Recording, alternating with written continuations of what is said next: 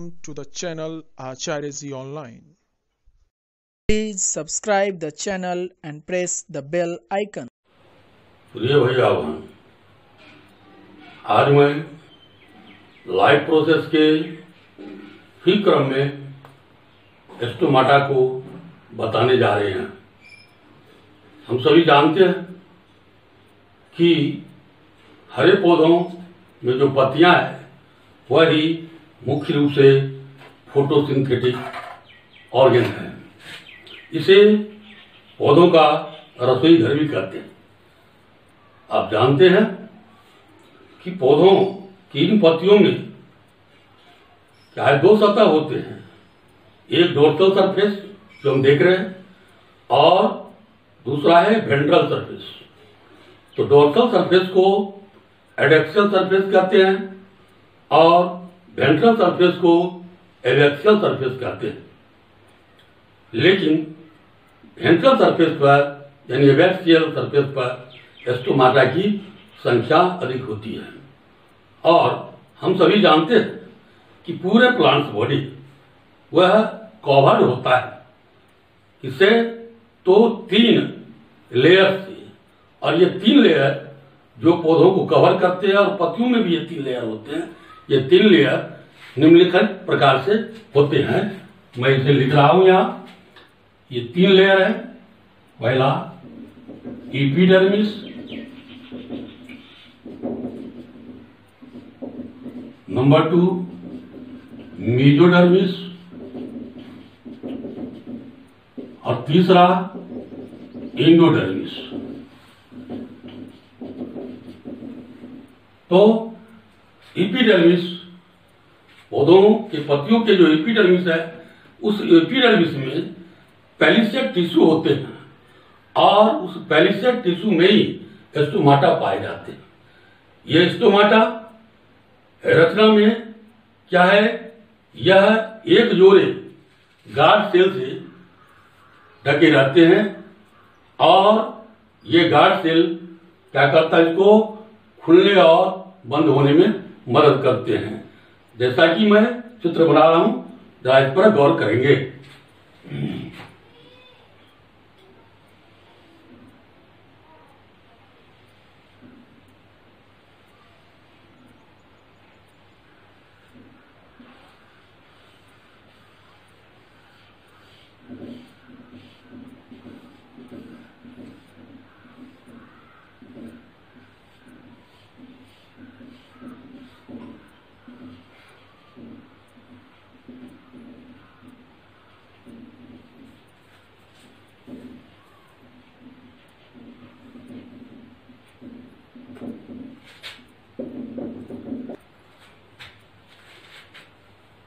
ये जो हम चित्र देख रहे हैं। ये स्टोमाटा के हैं स्टोमाटा में जो मेन पोर्शन हम देख रहे हैं, ये एस्टो मेटल ओपनिंग कहलाता है और ये दोनों गार्ड सेल्स और ये सभी कंपेनियन सेल्स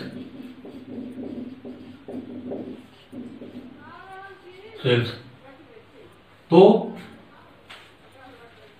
सभी स्टोमाटा कहा है? तो इपीडर्मिस के पेलिसेट टिश्यू में। अब स्टोमाटा की परिभाषा हम क्या करेंगे? स्टोमाटा कहा जाता है? The tiny pores the tiny pores that are present on epidermal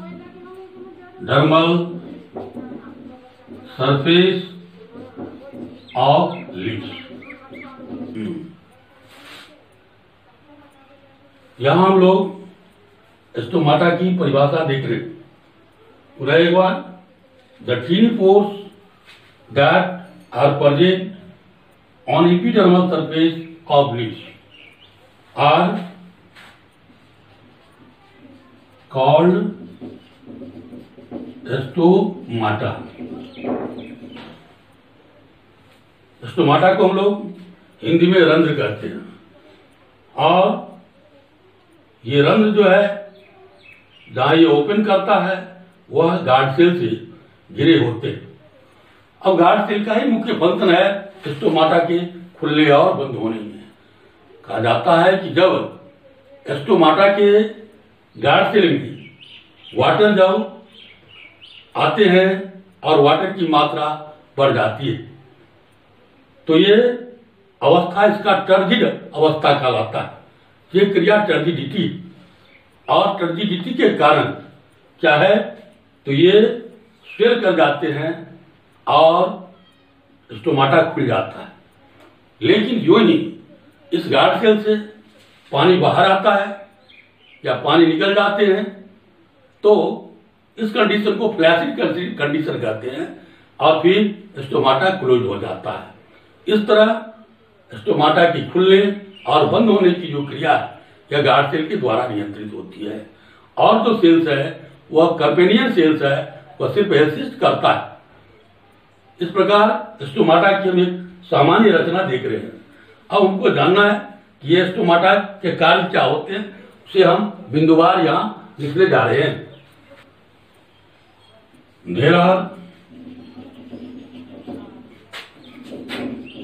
three functions of stomata stomata के तीन कार्य होते हक bill make gaseous exchange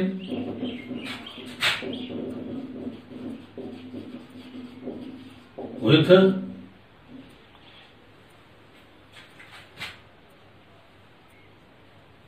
environment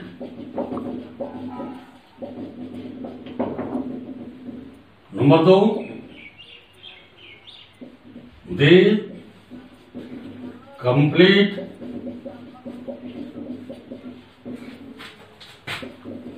the task of transpiration transpiration transpiration transpiration is a process in which leaves of green plants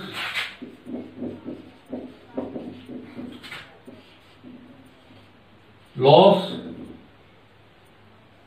losses water molecule in the form of भयपद the third function of stomata is that stomata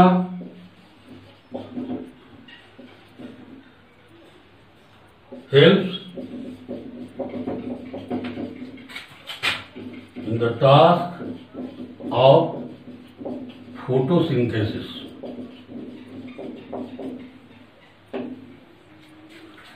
इस प्रकार हम देखते हैं कि stomata तीन कार्य करते हैं। पहला तो ये गैसों का एक्सचेंज करते हैं। एक्सचेंज का मतलब आदान प्रदान करना। ये सेल के अंदर बाहर से कार्बन डाइऑक्साइड ग्रहण करते हैं और फिर ऑक्सीजन को बाहर करते हैं। जैसा हमने कक्षा नवों में पढ़ा है कि गैसियस एक्सचेंज जो होता है, वह कंसंट्रेशन ग्रेडियंट के आधार पर होता है। यानी जब सेल के अंदर ऑक्सीजन की मात्रा अर्थात कंसंट्रेशन अधिक होता है तो ये ऑक्सीजन बाहर जाते हैं और जब बाहर कार्बन डाइऑक्साइड की मात्रा अधिक होती है, कंसंट्रेशन अधिक होता है तो बाहर के जो कार्बन डाइऑक्साइड है, वह सेल के अंदर आते हैं। इस तरह क्या करते हैं स्टोमाटा गैसों का आदान प्रदान करते अर्थात एक्सचेंज करते हैं। दूसरा है ये कंप्लीट करते हैं टास्क ऑफ़ ट्रांसपिरेशन को। ट्रांसपिरेशन को हिंदी में उपछेदन भी कहते हैं। क्या करते हैं? हरे पौधों की जो पत्तियाँ हैं, ये जल को वाष्प के रूप में त्याग करते हैं। तो इस क्रिया को ट्रांसपिरेशन करते हैं, जिसका डिफिनेशन यहाँ लिखा गया है। और तीसरा है कि एस्टोमाटा क्या करते हैं? हेल्प करते हैं प्रकाश संश्लेषण की क्रिया में। क्योंकि तेल में क्लोरोप्लास्ट है और क्लोरोप्लास्ट में क्लोरोफिल होते हैं। हम सभी जानते हैं क्लोरोफिल एक ऐसा मॉलिक्यूल है लिविंग सिस्टम में जो सूर्य प्रकाश को ग्रहण करते हैं। इस तरह से हम एस्टोमाटा के कार्य को भी समझ गए। अब मेरा एक तीसरा बिंदु है कहने का, वह क्या है? जब हम लोग समझेंगे, ध्यान से। कि पौधे प्रकाश संश्लेषण की क्रिया में क्या करते हैं? कार्बोहाइड्रेट का निर्माण करते हैं। और कार्बोहाइड्रेट से ग्लूकोज प्राप्त हो जाता है। और फिर ग्लूकोज के ऑक्सीडेशन से पौधे को ऊर्जा मिल जाती है। इस तरह से क्या है पौधे के एक न्यूट्रिएंट्स अर्थात एक ऑर्गेनिक कंपाउंड मिल जाते हैं। लेकिन जीव शरीर को चलाने के लिए तीन मुख्य न्यूट्रिएंट्स है, वो कार्बोहाइड्रेट है, वो प्रोटीन है और वो फैट्स हैं। तो पौधे इस प्रकार संश्लेषण क्रिया द्वारा कार्बोहाइड्रेट की प्राप्ति तो कर लेते हैं, लेकिन ये फैट्स और प्रोटीन को प्राप्त करने के लिए क्या करते हैं? तो इसे हम लोग जाने, ये कार्बोहाइड्रेट हमने पढ़ा कि plants utilize glucose but some parts of glucose remains in the plant body and the remains glucose as a store as in the form of the starch so this glucose और carbohydrate finally accumulated as in the form of fat, it becomes converted as in the form of fats. ये fat के रूप में बसा के रूप में ही बदल जाते हैं। लेकिन प्रोटीन जो आवश्यक बॉडी का निर्माण करने के लिए जो ऑर्गेनिक कंपाउंड है इसका निर्माण कैसे होता है? तो पौधे बहुत सारे इन ऑर्गेनिक संरचना मृदा से प्राप्त करते हैं। यह सल्फ़र है आयरन है मैग्नीशियम है फास्फोरस है, नाइट्रोजन है। तो ये सभी प्लांट बॉडी में चाहते जड़ों के द्वारा आते हैं। और ये नाइट्रोजन प्लांट बॉडी में पहुँचने के बाद ये नाइट्रोजन के कंपाउंड में बदलते हैं। सबसे पहले ये नाइट्रोजन जो है, वह नाइट्राइट्स नाइट्रेट्स और नाइट्राइट्स के फॉर्म में क्या होते फिक्स होते हैं और वो प्लांट बॉडी में पहुँचते हैं और प्लांट सेल में जाकर के वह क्या होता है प्रोटीन के रूप में कन्वर्ट हो जाते हैं। और भी हम सभी जानते हैं कि कुछ दलहनी कुल के जो पौधे हैं, उनकी जड़ों में क्या है राइजोबियम बैक्टीरिया होता है? और ये राइजोबियम बैक्टीरिया क्या करता है? वातावरण की स्वतंत्र नाइट्रोजन को यह रिसीव करता है और उसको नाइट्रेट और नाइट्राइट में बदलता है। जिसे प्लांट बॉडी ग्रहण करता है और पुनः प्रोटीन का निर्माण कर लेता है। इस तरह पौधे अपने तीन जो मुख्य न्यूट्रिएंट्स है उस न्यूट्रिएंट्स या प्लांट बॉडी के निर्माण करने के लिए जो आवश्यक है, उसका वे निर्माण कर लेते हैं। इस तरह से हम देखते हैं कि संपूर्ण एस्टोमाटा के कार्य कैसे होते हैं, इसको हम जानते हैं। अब एक बात मुझे और भी इंडिकेट करना है वह यह है कि जब हम पत्तियों के ट्रांसवर्स सेक्शन करते हैं ट्रांसवर्स सेक्शन का मतलब हुआ जब इसके अनुप्रस्थ काट काटते हैं तो इसके अनुप्रस्थ काट काटने में के बाद इसके अंतर्गत? सेल्स के अंदर छोटे छोटे गोले के समान, हर गोले के समान रचनाएँ दिखाई पड़ती है। और वही रचना क्या है? क्लोरोप्लास्ट है, जिसके अंतर्गत क्लोरोफिल होते हैं। अब हम अगले अगले वीडियो में हम क्लोरोफिल की क्या आवश्यकता है? प्रकाश संश्लेषण की क्रिया में या फिर पौधे क्या करते हैं? भोजन निर्माण में क्लोरोफिल का उपयोग कैसे करते हैं? या भोजन निर्माण में क्लोरोफिल की आवश्यकता है? इस बात पर और इसका डिमोन्स्ट्रेशन हम अगले वीडियो में करेंगे। इस तरह से आज के लिए ये पर्याप्त है और इस वीडियो को हम लोग देखेंगे और इसे समझने का प्रयास करेंगे और इसे फेयर कॉपी में लिखने का प्रयास करेंगे। धन्यवाद।